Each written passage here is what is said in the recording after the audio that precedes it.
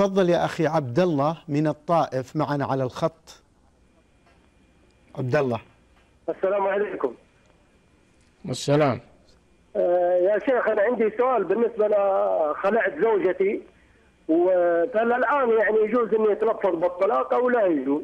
أنا خلعتها وانتهى الموضوع بس الآن لو تلفظت هل هذا جايز؟ طيب جزاكم الله خير. السؤال الثاني